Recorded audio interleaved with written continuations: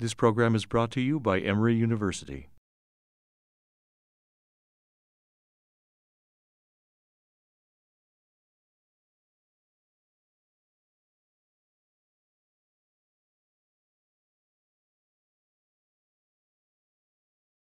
Okay, I think we'll start. Um, I'm Professor Pamela Scully, uh, Assistant Vice Provost for Academic Innovation uh, and a professor in the college in Women's Studies and African Studies. And I'm one of the co-organizers of this Emory Ebola Faculty and Community Forum, along with Sita Ranchod-Nilsson of the Institute for Developing Nations and Deb Bruner of the School of Nursing. Um, and I really want to thank the Institute for Developing Nations for taking on all the organizing responsibilities for this forum, and particularly Keisha, thank you so much. Um, today we are talking about Ebola and the law in the US and West Africa, treatment, vaccine development, and ethics. Uh, before we start, I just want to let you know of our future forums, so I'm going to make sure I know the right dates. So March 3rd, which is coming up soon, uh, we, it's going to be at the Candler School of Theology. We are moving around each time so that we uh, are in one of the schools that um, helped sponsor. So it'll be in the Rita Anne Rollins building, room 252, and that topic is going to be on religion. Um, the speakers for that week will be John Blevins from Rollins School of Public Health, Jehu Hanciles, Candler School of Theology, and Emmanuel Lartey, also the Candler School of Theology. Um, and after that, the next one will be on March 23rd, after the break, um, at the School of Medicine, room 110, and that topic will be perspe perspectives from institutional partners. Um, and then President Carter is coming on April 9th uh, to talk about Ebola, democracy, human rights, and public health. Um, we're very, very grateful that he will be, President Carter will be being, participating in this forum. Um, and then there's a final wrap-up session as well. So today, we are very lucky to have two distinguished professors from Emory talking.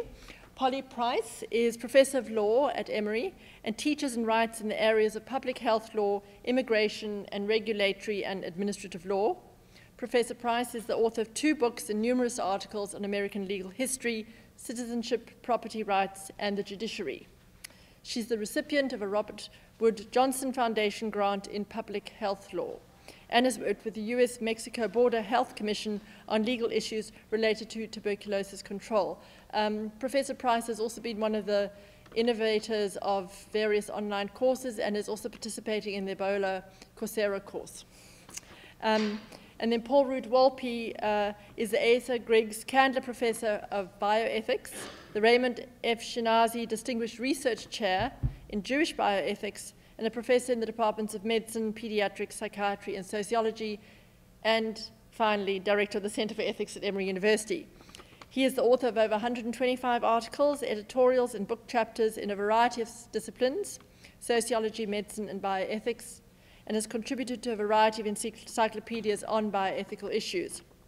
Dr. Wolpe also serves as the first senior bioethicist for the National Aeronautics and Space Administration, known as NASA, where he is responsible for formulating policy on bioethical issues and safeguarding research subjects. So today's forum will be from now until around 5 o'clock. Um, our speakers will, will uh, give their presentations and there will be time for questions. Um, and after that, the faculty discussion group will move to the other building. We will just follow Keisha, I think. And um, because of uh, Professor Wolpe's work with NASA, he, uh, he will have to leave a little earlier at, at 5.30, but we are very glad to have him here. So, Professor Price, will you start us off?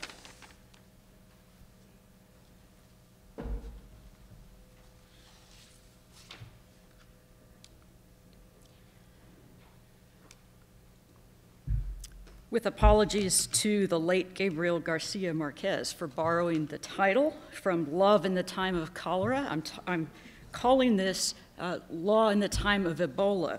And in my defense, it is somewhat apt borrowing because what I will say in the next 20 minutes applies not just to Ebola, but it would apply to cholera, it would apply to vaccines for measles, it would apply to any number of other infectious diseases as well. This is because my topic is the use of government authority to control contagious disease. Ebola is an example of how public health is bounded by both law and government functions. Remember this phrase because I'm going to repeat it at the end. Plans versus panic. We want the plans to win. We're going to think about law more broadly than you might otherwise. The study of law is about rights and duties and how they are enforced, but it's also about how laws are produced and how, through better law, we can also have better government and better results. This is a brief overview of how public health law is made, at least to the extent I can do so in uh, 20 minutes, and an overview of how state government and agencies administer that law. Public health law is diffuse because it involves a wide array of government actors in a variety of subjects. It governs health providers, like Emory Hospital, for example, directing what it can and cannot do. Just one example the Federal Occupational, Self, Occupational Safety and Health Administration sets safety standards to protect hospital workers, and more than one government agency issues rules for the disposal of hazardous waste from healthcare facilities. So many areas of law are involved. What we learn about government response to contagious disease might be that it is inadequate lack of coordination between federal, state, and local health uh, departments, each with their own, each agency with their own law, procedures, and specific charge, and all of these, though, have a key role in containing effect, uh, infectious disease. So, first, I will briefly outline some of the laws and government agencies relevant to the containment of infectious disease through the recent experience of Ebola. And I think um, Emory is a good place to start, and this is where it started for Emory, at least within the state of Georgia, and that's when uh, the plane arrived carrying the first Ebola patient.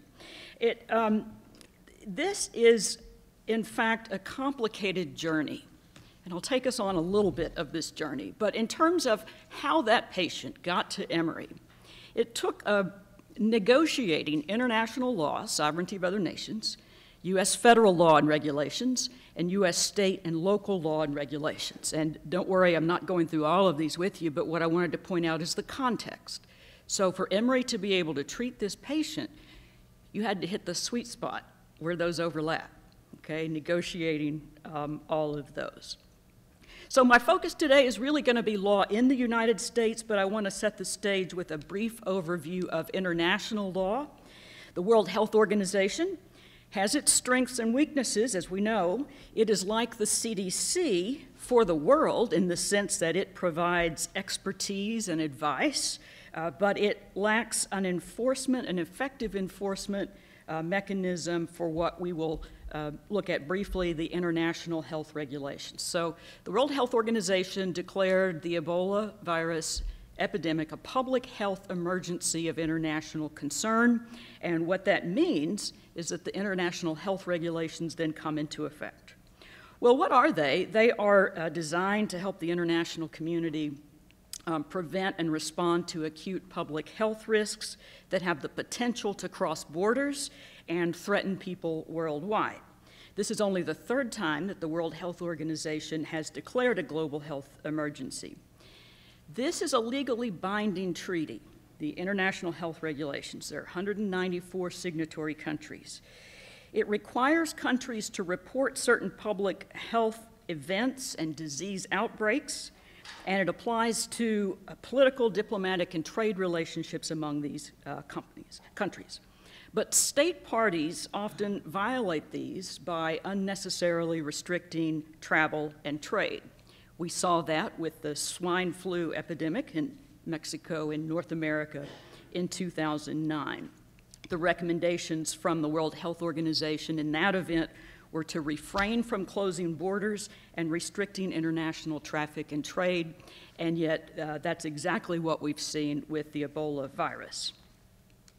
Now, in terms of uh, other actors, we have the UN mission uh, for Ebola emergency response.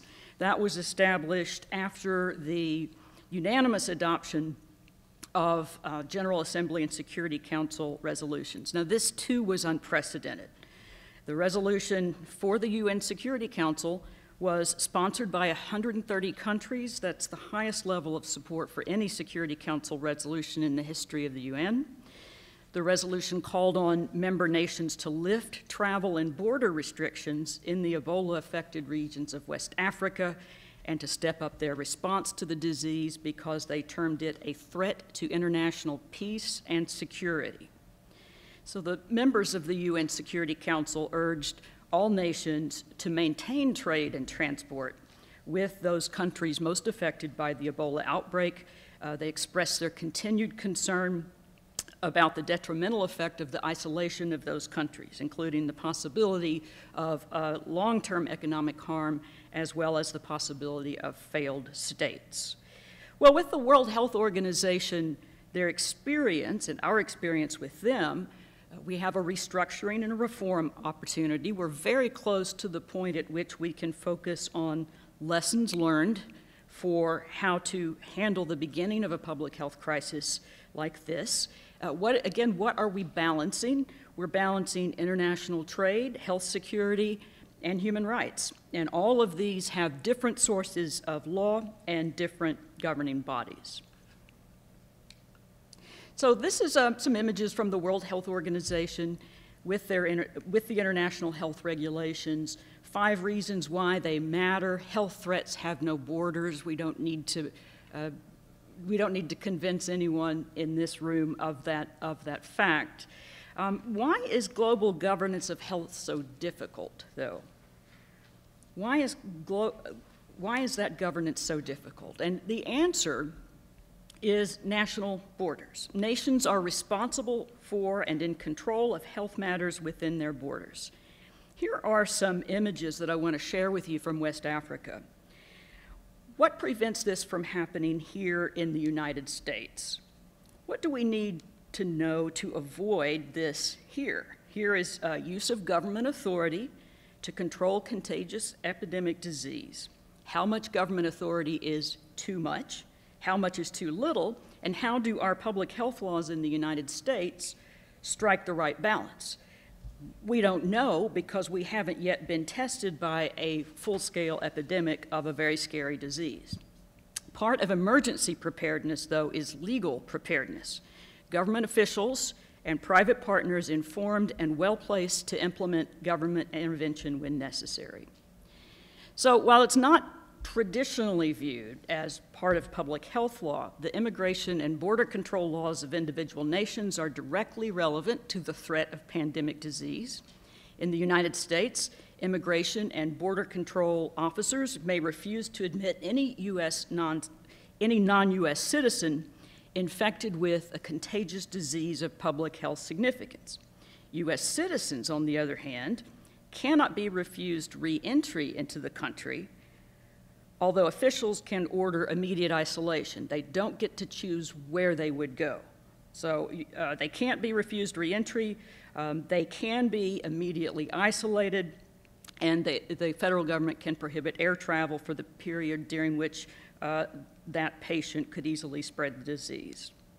So now we're back on the road to Emory with the first patient, how they got here. For the first two Ebola patients transferred from Liberia to the Emory Hospital. Both had a right of return on the basis of their citizenship, but not a right to choose where they could travel within the United States.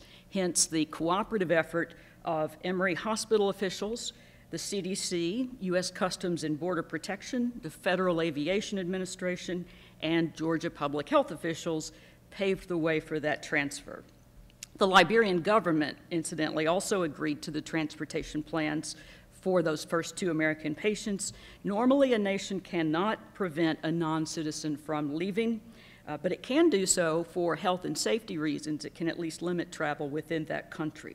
So the Liberian government could have prevented movement of any patients out of local isolation uh, or quarantine if travel within that country posed undue health risks for others.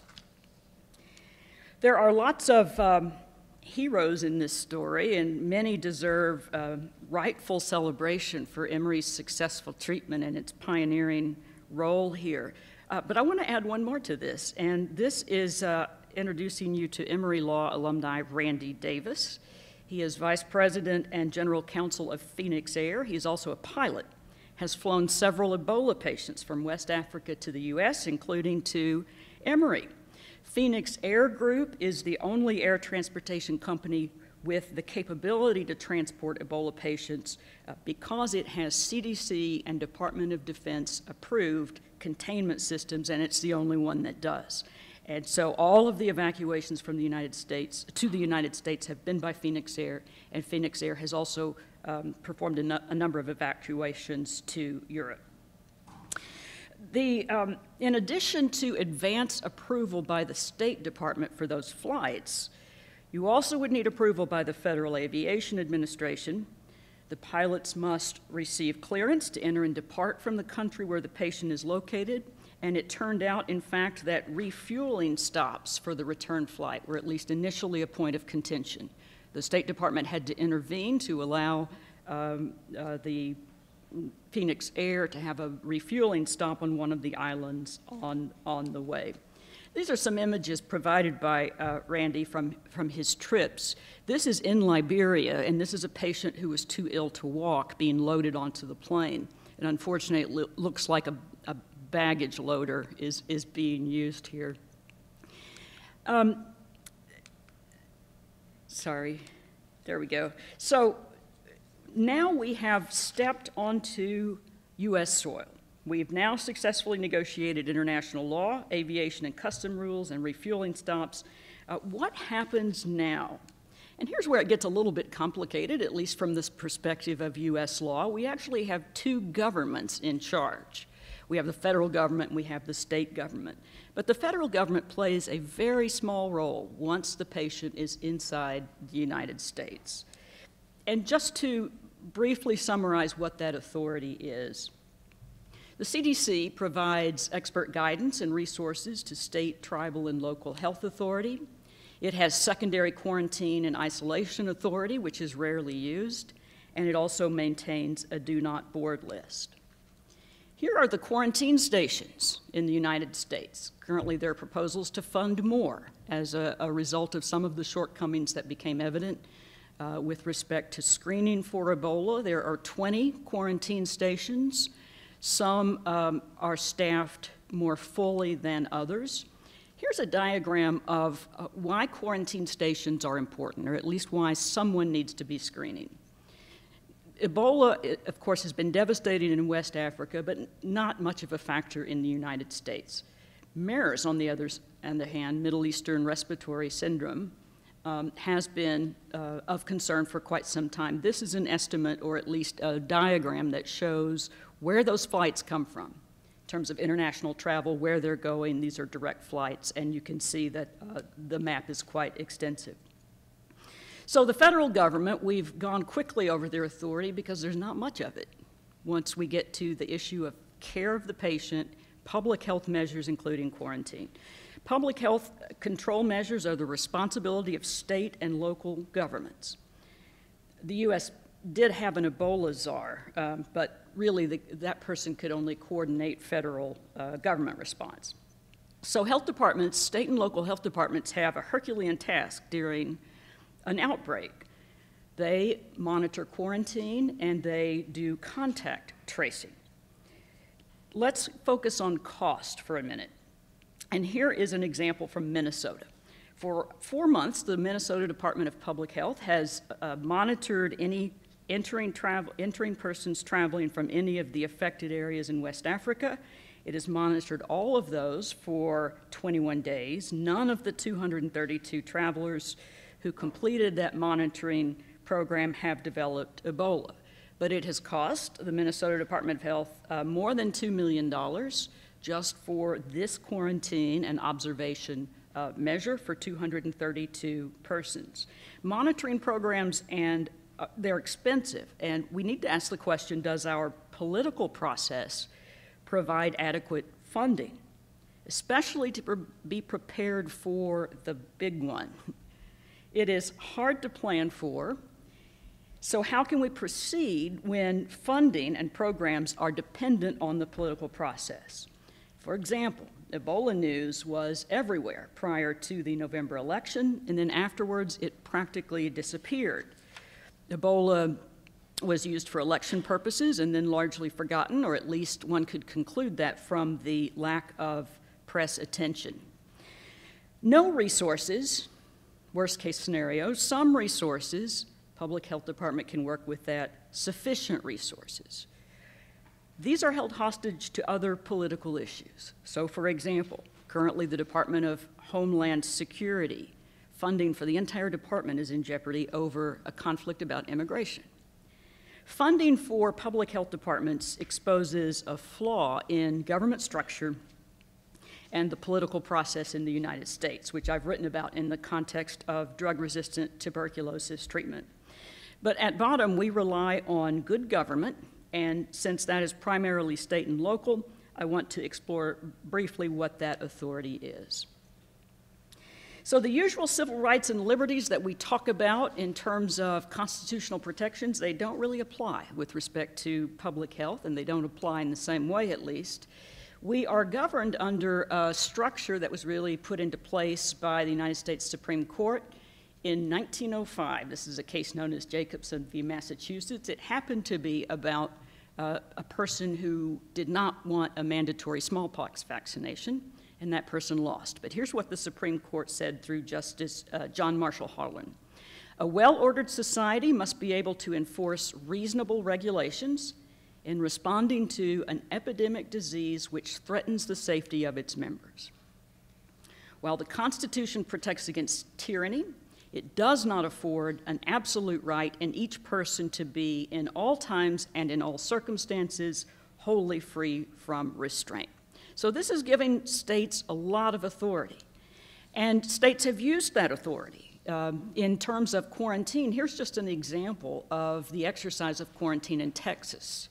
This is from a, a, number of years ago, and I'm going to compare it with something more recent in, in Texas. But just to take a look at this, this is a typical quarantine order that's stuck on someone's house. No one shall enter or leave this house without written permission of the local health authority, and then it sets out the statutory authority uh, for that.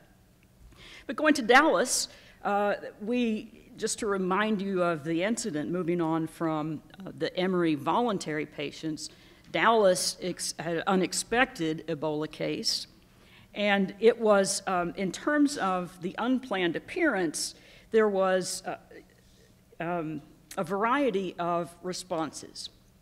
This was a quarantine that was put into place by the public health officials. Initially, the family that had been um, surrounding the individual, they were uh, quarantined in their apartment, even though there were a lot of hazardous materials there.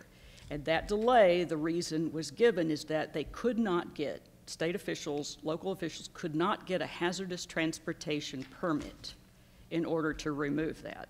This was finally remedied. This is a friend bringing them some food. But, you know, at the beginning, this was, this was tough for a lot of officials. And that one of the attorney generals for the state of Texas basically said, well, we were working with this old structure and we think it's flexible enough to do what we need to do, uh, but we are still learning. And then here's the media scrum. This is the slide that I will end with. It is. Um, Here's typical state legislation, and it happens to be the state of Georgia, and it dates from around the time of the United States Supreme Court case that we talked about, so this is turn of the 20th century. And if you'll bear with me, I just want to read it to you quickly to emphasize a couple of points. The department and all county boards of health may require quarantine or surveillance of carriers of disease and persons exposed to or suspected of being infected with infectious disease until they are found to be free of the infectious agent or disease in question. So, what I want to focus on is that you don't have to be sick. You merely have to be suspected of having been exposed. And 21 days is a long time to take away uh, someone's ability to move around, their ability to work, their ability to earn a living, um, the, the desire to avoid social ostracism, but it is uh, clearly a state power that should be used wisely, uh, and we rely on our government officials to do so. The fact that there is no compensation for this period, say for returning workers for three weeks, that there's no compensation is said to be because the rights of the individual have to be sacrificed to the public good.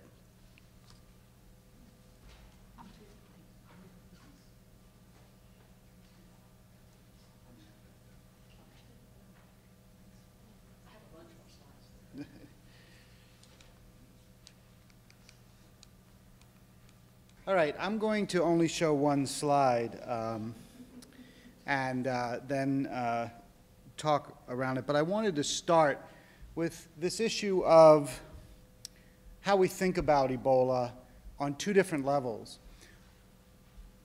There, is a fun, there are a number of fundamental differences between the way in which we think about public health ethics and the way in which we think about clinical and medical ethics.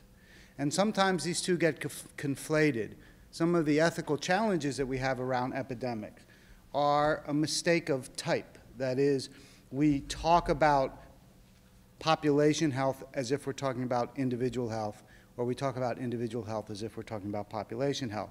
So very quickly, I'm going to try to show you conceptually what the differences are and the way in which we think about public health versus public health ethics versus clinical or medical ethics. And that'll set the stage for the comments that'll come after where I'll try very briefly to show you what some of the ethical challenges are around Ebola and epidemics, though, of course, in this short time, we can only touch on them. So the first thing is that public health involves multiple stakeholders who are, in a sense, um, your patient. The population is your patient when you're doing public health, and so you have a lot of different stakeholders involved, all of whom deserve equal attention because all are at risk in an epidemic. In a clinical encounter, your ethical responsibility is to the patient and the patient alone. The healthcare um, provider has a fiduciary legal responsibility to do what's in the best interest of that patient. And even if what they do with that patient might affect someone else, their ethical responsibility is to that individual. Secondly, Public health tends to be process oriented. What can we put in place here that will, um, uh, what processes can we put in place here to try to minimize the impact of this, while clinical medical decision making is outcome oriented? What can we do to most facilitate the health goals of this patient, cure, palliative care, whatever it might be? Public health is focused on the public good. Clinical medicine is very explicitly focused on the private good.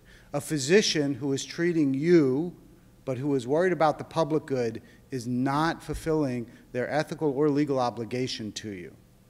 Their goal should be to you as their patient and to you alone, except in very rare circumstances. If you threaten someone's life, if you have an infectious disease that might infect others, that's one thing. But for a physician, for example, to think, hmm, there's only a finite amount of resources in the world. This patient is going to take some of them. I'm going to save some of these resources for others. That's a violation of the clinical relationship, but it is very much what public health needs to think about. Public health tends to be based on prevention in most cases. Ebola epidemic is an exception. When epidemics break out, it's now about stopping them. But in most cases, most public health is about prevention, while most clinical medicine is based on treatment. In fact, in the United States particularly, clinical medicine has been criticized for not focusing nearly enough on prevention and over-focusing on treatment. In public health, the government is highly involved, as we just saw in Polly's um, uh, uh, presentation, the government sets the parameters around which public health can be exercised. In um, clinical medicine, the government, we hope, stays out of it as much as possible. There are exceptions to this, and our system is bounded by government regulations, but in that interaction, we don't want the government involved, or at least as little as possible. Public health has to accommodate cultural beliefs, and here at Rollins, you talk to people who engage in actual public health activity, and they tell you that local culture and beliefs, as I'll show you in a minute with Ebola, profound input, impact on how not only disease is um, uh, thought about and perpetuated in any particular culture, but what kinds of public health interventions are likely to work and what kinds are not while clinical medicine is only about the personal beliefs of that individual. Now, cultural beliefs, of course, can come into it, but not the broader cultural beliefs. And in fact, one of the things we try to teach our medical students and other clinicians is just because this person belongs to a particular cultural group, don't assume that they have all of the beliefs of that particular group. They may not. Um, in public health, we think of collective rationing. We have a finite amount of vaccine. How do we allocate it? In the uh, clinical um, encounter, we don't want our clinicians to engage in bedside rationing. That example I gave you a minute ago where I, a clin I'm not a clinician, but if I were sitting on the bedside saying, hmm, how many resources am I going to allocate to this particular patient? We don't want our clinicians doing that. Uh, public health is based on an idea of justice, right? We don't discriminate in public health saying these people are more worthy, so we'll try to save them, those we won't. Um, while clinical medicine, at least in the United States, is based more on individual rights, though justice, of course, comes into it as well. Uh, and in public health, as Polly just told us again, sometimes the uh, rights of the community trump the rights of individuals. In fact, public health is about the needs of the community, not the needs of any particular individual, while patient autonomy, of course, is what we uh, advocate and, and, care about um, in clinical medicine in most cases. Public health has a kind of utilitarian, consequentialist perspective. That is, we want to try to maximize the most good for the most people as best we can, while of course the clinical medical idea is let's do what's in the best interest of this patient. At least that should be the orientation of the physician with many caveats. Um, public health should be about protection, protecting everyone, including minorities. We don't discriminate while in clinical medicine the patient is paramount. Finally, when public health intervenes, when it needs to go into a society and engage in some intervention, one of the things you want to do is use the least effective intervention. You don't want to intervene more than necessary to achieve your goals, and, find, and um, with clinical medicine, it isn't about that, it's about consent of the patient. So this is very briefly, as you can see, I've rushed through this. Each of these is worth a conversation. But I wanted us to get, first of all, an outline of why it is that when we think about public health ethics, we think about it differently than the way in which we think about clinical ethics. And some of the decisions that we make sometimes that seem or, or, people uh, comment to me, was that ethical? It's because they're applying a clinical ethical lens to a public ethical problem. All right, that's my slide, and the rest I'm going to be just talking to you about. So the tensions involved here, involved in all of this on both sides, are certain kinds of tensions such as the rights of the individual versus the rights of society. How do we balance that? In, both cases, adequate knowledge versus risk. We never have complete knowledge in a medical encounter. We never have complete knowledge in uh, public health encounter, and there's always some kind of risk involved, and we always are trying to balance those two things. Advocacy versus objectivity. To what degree should we be advocates for actions versus trying to keep an objective eye on what actions are right? Um, in public health, and sometimes also in clinical medicine, incentives versus mandates. So public health often argues about stopping smoking do we try to give people incentives to stop smoking, or do we create certain mandates that coerce their behavior? And that's true in almost any public health intervention, and it could be true sometimes in clinical interventions as well. And finally, the issue of privacy also comes in versus public need. Um, how do we balance those? So, those are some of the tensions involved here, and we have precedents for the Ebola uh, outbreak. So, one of the examples I like to use is flu. We've done a lot of work uh, on trying to plan for a potential flu outbreak. You know, we had this extraordinarily destructive flu outbreak early in the 20th century, killed 50 million people. And we keep being warned by the CDC that such an outbreak might be possible again. And so the CDC and others have done a lot of thought about how do we handle such an epidemic ethically. And there are some really interesting issues there. So, for example, if, you, if we had an, a finite amount of vaccine, how should we allocate it? Uh, there are many different philosophies you could take. Save those most at risk. Well, it turns out that in the flu, very young children are, are at risk, but older children are at less risk than really young children, and then in some cases are at less risk than healthy adults because the flu turns your immune system against you, and the stronger your immune system is, the more at risk you are. Right? Except for people with exceptionally weak immune systems. So the people in the middle are at the least risk, and how would a society respond to, I'm sorry, the people in the middle are at the most risk, so how would a society respond to giving flu vaccine to people that seem the healthiest if they were the most at risk? Or perhaps you put children and young people first and you don't care who's at most risk. Or perhaps you say what allocation of this vaccine would have the best effect on society. We don't care about individuals particularly. Or you say, okay, we have a finite amount of vaccine, let's use a lottery system. Whoever gets the highest number gets vaccinated. Or we could say, first come, first serve. You get to CVS before me, you get the last shot. The point is that all of these are, and there are more, of course, are strategies to allocate, and there are ethically uh, valid reasons to argue any of them. So when it comes to epidemics, how we're going to allocate resources becomes a very interesting ethical problem. And of course, it's exactly the problem that first raised its head in many ways in the Ebola uh, situation, when as soon as it was decided to try this experimental therapy on Dr. Brantly, uh, I started getting calls. And there were two kinds of questions that these media wanted to know. Question number one, is it okay to use an experimental um, vaccine in a situation like this? And number two, why are we giving it to, the, to Dr. Brantly? So let's take the second one first. Was it ethical to give this experimental vaccine to Dr. Brantly? Some people, I had many media calls where they said, is it fair to give this vaccine that might save the life to the wealthy, white, privileged Americans and not to someone from Sierra Leone or Liberia where people are dying by the thousands? And my response was, what would you, what would happen if we sent this experimental vaccine over to Liberia and it killed the first person we put it into?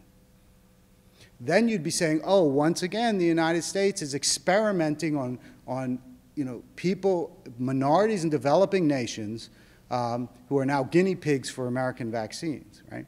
So this was a lose-lose, right? There was no right ethical choice here. In fact, the right ethical choice was to give it to Dr. Brantly for a number of reasons, not because he was white and privileged, but because he was here where he could be observed in very sophisticated medical situations. There was a very limited amount of this vaccine. We still don't know if it works, really.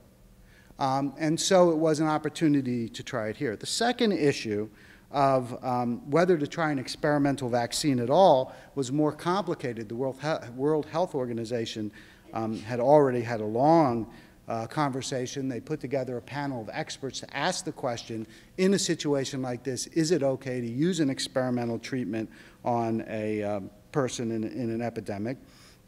And they reached a consensus that it was, in fact, okay to use unproven interventions, which is the word they use, even if its effectiveness or its side effects or complications were unknown. The Food and Drug Administration also agreed with that and permitted this small biopharma company to distribute this product um, that had been put on hold at the time because of concerns about side effects of uh, ZMapp.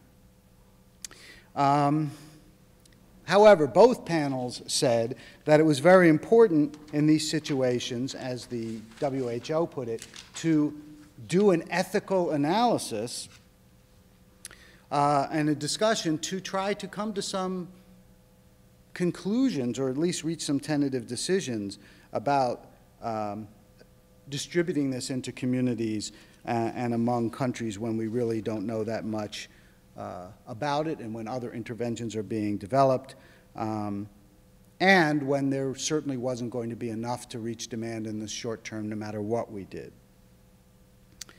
The WHO did make one interesting comment about this, which is that there's a moral obligation on the part of the people who get these drugs to allow themselves to be studied. This is something that bioethicists have talked about for a very long time. Do you have an obligation? Everyone in this room has benefited from modern medicine. You've gone to the doctor, you've gotten a drug, you've gotten vaccinated, you've gotten shots. Does that thereby impose upon you an ethical obligation to involve yourself in research, having yourselves been the benefit of other people's voluntary research in the past. Every drug you've ever taken has been tested on human beings who volunteered, we hope, for that study. And the WHO and, and bioethics has always argued, well, you may have a broad ethical obligation in some general sense, but never a specific ethical obligation. But the WHO actually said you have a specific ethical obligation if you are going to receive a very rare vaccine for a rare disorder to allow yourself to be studied.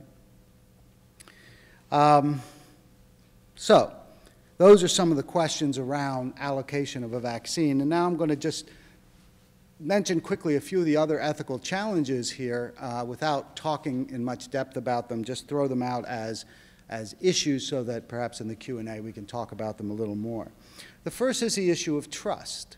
All of the interventions that we try to do around Ebola in a developing nation are going to be based on issues of trust. We saw examples of distrust all over this uh, event, all over Western Africa, right? We saw uh, the belief that people who were spraying disinfectant were actually spreading Ebola. We saw a group of people uh, go into a clinic and destroy it because they thought when the healthcare workers come, Ebola comes, right? They have the causative direction in the wrong direction, right? The healthcare workers are coming because Ebola's there. They don't bring it, but they destroyed it. So trust becomes very, very important around this. On this side, too, very quick anecdote. I wrote a piece for CNN right after Ebola happened, and the day that I was writing it, Donald Trump tweeted this tweet about um, how important uh, Dr. Brantly was on his way in, and Trump tweeted, This is a failure of political leadership keep him out. So in my, in my uh, article, I mentioned that, and uh, it was published on CNN. Then it was reposted all over by other news sources with the title, Wolpe, colon, Trump, shut up. Google it. Okay, so trust, trust is important in both. I, I, was very careful walking out to my car that day. But um, trust is important in both sides, not just in Western Africa, but here too. That you know that was a failure of trust as well. Uh, Polly already talked about quarantine, so I won't say anything about that. I will say though that I sit um, on the Emory Ebola Task Force, and one of the things that we did talk about was what is the ethical obligation of Emory to its own healthcare workers should they go and volunteer to uh, go to Western Africa and, and, and give their time and effort on their own time to trying to help uh, treat people there. Then they come back. Maybe they took their week's vacation to do that, but now they're quarantined for three weeks. Should we pay them? You know, what is our obligation? We are a system that believes in helping uh, others, and, and we have highly trained people that we're very proud of. Should we not support them in, through that endeavor? And in fact, we will support them through that endeavor. And then the uh, last two just points I'll throw out for for talking is we need to talk about ourselves. What is it? What is the public preparedness for epidemics in this country? And the answer is none, right? We don't know what to do. We're going to start being told once the epidemic is underway. And when you talk about the issue of panic or planning, what's going to happen in the United States is panic because we're not doing any planning. Right? We just have this attitude, it's not going to happen here. That's our attitude as the public. We don't believe CDC when it tells us to get our flu shots, and lots of people don't get them. And then one day the, epidemic's going to hit, and there's going to be panic here. Um, and so there is a there is a big difference in um, life between the theoretical discussion of the ethics of disease and the lived experience of it. And one of the things that I think is really important, and one of the things I think that we at the Center for Ethics try to be very cognizant of, is that ethical theory is a very different thing than ethics on the ground. And you can have the most wonderful theories in the world, and then you step into Western Africa, or you have the most wonderful theories in the world, and you step into um, the emergency room. And it's really important when we think about planning that we think about it soberly, realistically. We think about the real ways in which people behave and not sort of wonderful models of, of ethical upstandedness. Um, and that's the only way we're actually going to prepare for things in a way that will have real results when they inevitably do happen. Thanks.